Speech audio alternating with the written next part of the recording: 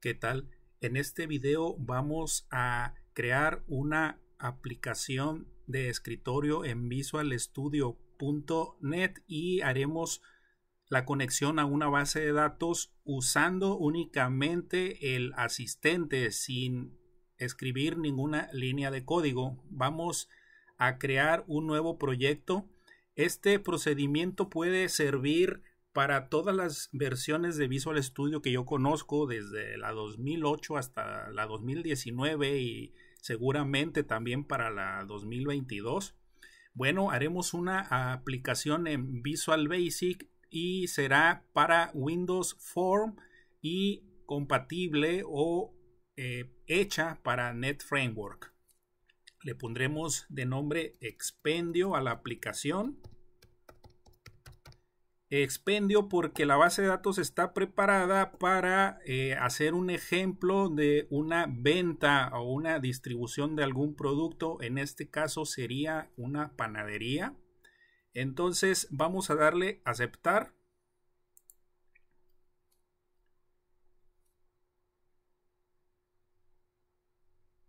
Ya nos creó eh, el primer elemento de nuestro sistema que es el primer formulario Ahora vamos a hacer la conexión. Utilizaremos el menú origen de datos que está del lado izquierdo. Si no lo vieran aquí, lo tendrían que buscar en el menú. No les puedo decir exactamente en cuál, puesto que ha cambiado de lugar en algunas versiones, pero lo pueden encontrar arriba para activarlo y les aparezca la forma de agregar un nuevo origen de datos. Vamos a entrar ahí nos pregunta si es una base de datos, le decimos que sí. ¿Dónde está esa base de datos? Yo, eh, como sugerencia, les diría que hagan una carpeta que no tenga un nombre muy largo y que tampoco tenga espacios. Dentro de esa carpeta crear otra que se llame data o datos, que tampoco tenga espacios y ahí guardar la base de datos. Eh, también que no sea muy largo el nombre y que no tenga espacios. Es una sugerencia. Entonces es un conjunto de datos. Le decimos también siguiente. Y le diremos que es una nueva conexión. Aquí nos pregunta qué tipo de base de datos tenemos. Le podemos abrir y si vemos que tenemos varias opciones de conexión, yo en este ejercicio, la base de datos que usaré será de Access. Si ustedes tienen una de SQL, pues también les va a funcionar. Entonces le dejaré como Access, le doy a aceptar y le diré cuál es eh, la base de datos. Entonces haré examinar y iré a la carpeta que les mencioné hace un momento, que es donde existe la base de datos. Le doy a aceptar. Ya una vez que tengo la ruta de la base de datos, eh, voy a hacer la prueba de la conexión con este botón y me dice que la prueba eh, de conexión es correcta. Si no te saltara este aviso, si te marcara un error de conexión, eh, es muy probable que haya una diferencia entre las versiones. Es decir, que tal vez tu base de datos sea más nueva que tu versión de Visual Studio. Una forma de resolverlo es yendo a Access o a tu manejador de base de datos y bajarlo a una versión anterior, guardarlo como una versión anterior. Otra forma es buscar dentro del sitio de Microsoft el motor de que maneja las bases de datos de Access. Eh, es eh, un componente que viene por separado para que pueda hacerse uso de base de datos en caso de que no tengas una versión de Office instalada en tu computadora también. Aquí yo tengo ya eh, probada la conexión que sí va a funcionar. Si mi base de datos tuviera una eh, contraseña de acceso, pues bueno, aquí es el momento de ponerla y se guarda la contraseña. En mi caso no tiene contraseña, entonces le voy a dar aceptar si quiero ver la cadena de conexión, aquí me la está poniendo y qué tipo de tecnología está usando de conexión o qué versión es. Aquí la tenemos y cuál es su ruta. Le vamos a dar siguiente. Esta es una pregunta muy importante. Yo les sugiero que la respuesta sea no. Aquí nos dice si queremos crear una copia de nuestra base de datos. Le decimos que no para que se use nuestra base de datos real, la que está en la carpeta que yo preparé para eso. Entonces, cuando nos haga esta pregunta, le decimos que no.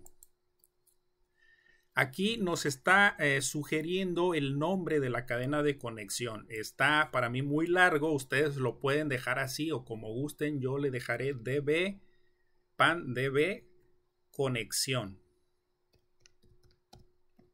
También sin acentos y, sin espacios. Le voy a dar siguiente.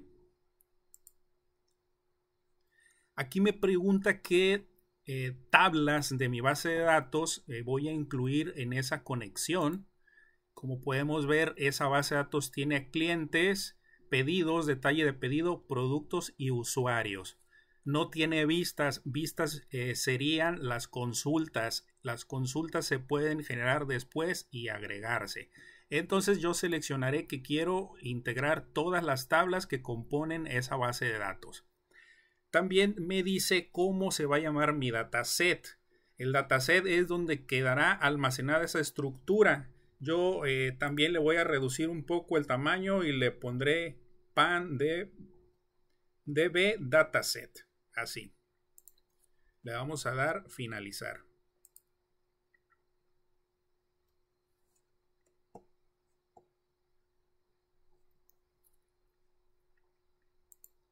Ya nos aparece en el origen de datos la estructura que tengo en mi base de datos. ¿De qué me sirve hacerlo de esta forma?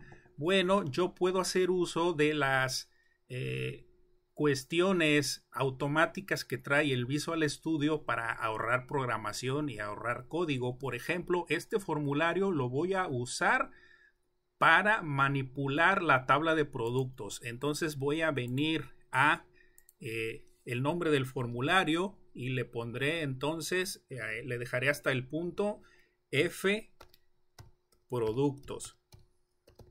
Así es como se llamará este formulario.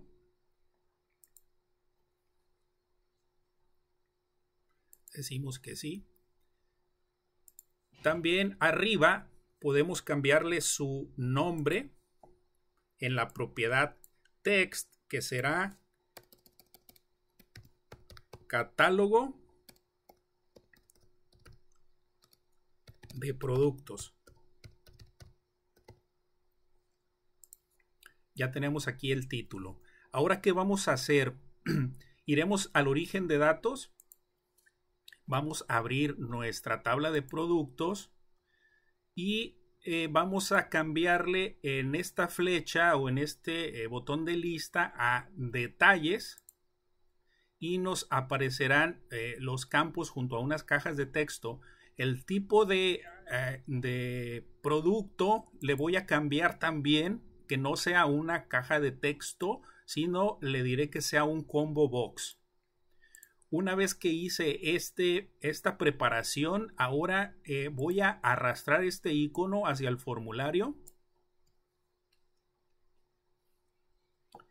Y como podemos ver, ya me agregó las etiquetas y eh, las cajas de texto correspondientes a ese a esa tabla, además que me agregó unos controles automáticamente para desplazarme dentro de los registros, agregar registros, eliminar y guardar. Vamos a hacerlo, a verlo funcionando. Le vamos a dar iniciar.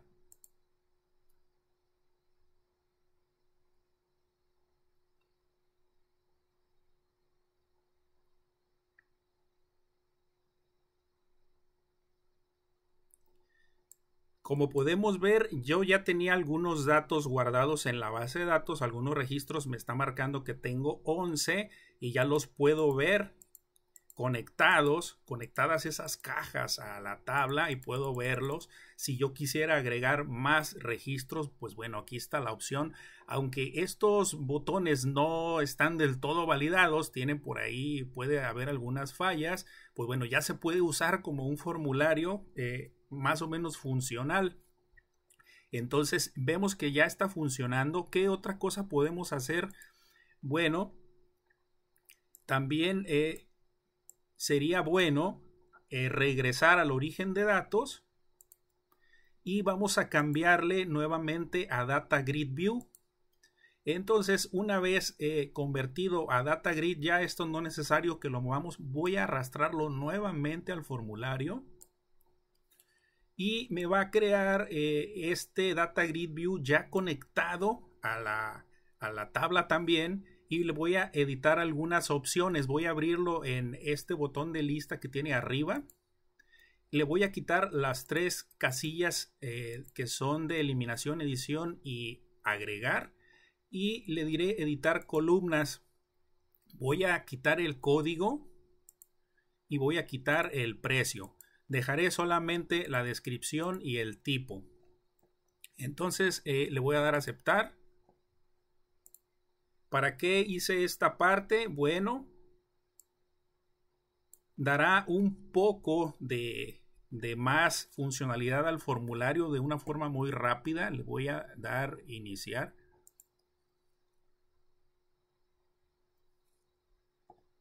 Como podemos ver, yo tengo ya a la vista todos los eh, elementos que componen eh, esta tabla o los registros que componen esta tabla.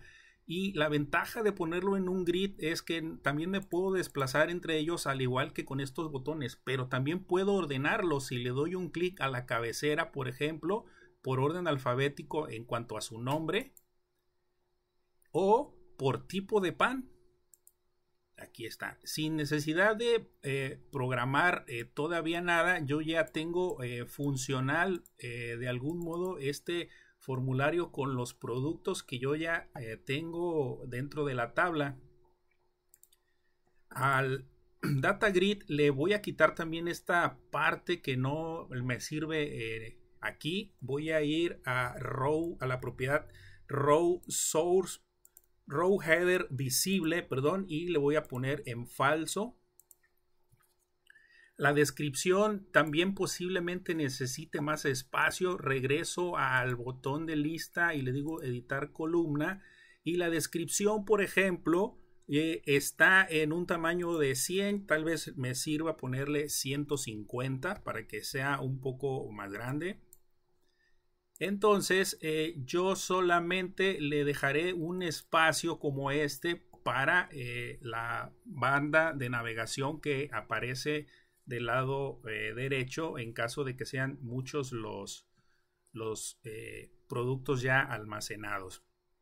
Bueno, aquí este formulario ya está funcional. Puedo agregar más formularios y continuar generando los formularios de las demás tablas eh, de una forma muy similar. También eh, tengo la opción de agregar mis propios botones y llevar el propio control o validaciones de este formulario. ¿Qué más tenemos que saber eh, antes de terminar este video? Si fui a mi base de datos en el Access o en el SQL y le hice modificaciones, por ejemplo, que agregué otra tabla o agregué otros campos en, o las consultas, entonces yo regreso al origen de datos y aquí tengo eh, editar el dataset. Vamos a abrirlo.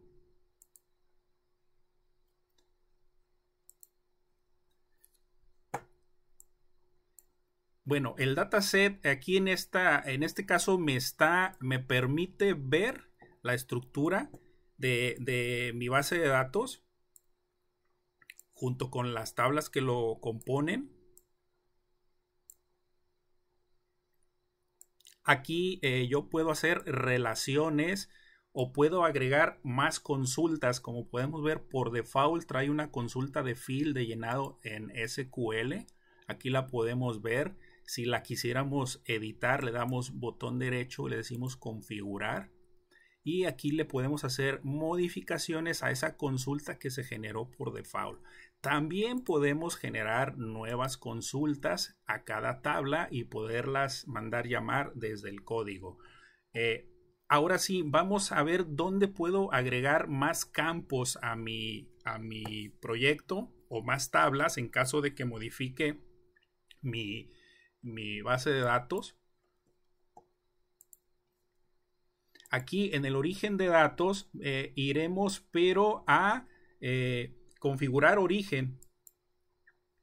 Entonces me aparecerá eh, una pantalla muy parecida a la que ya vimos al principio, donde me aparecerá en rojo lo que lo que ya haya yo eliminado y me aparecerá en la casilla en blanco lo que sea nuevo. Entonces yo podré seleccionar qué quitar y poner nuevamente y sigo el asistente hasta terminar. Con eso puedo agregar o eliminar eh, componentes a la estructura de la, de la base de datos.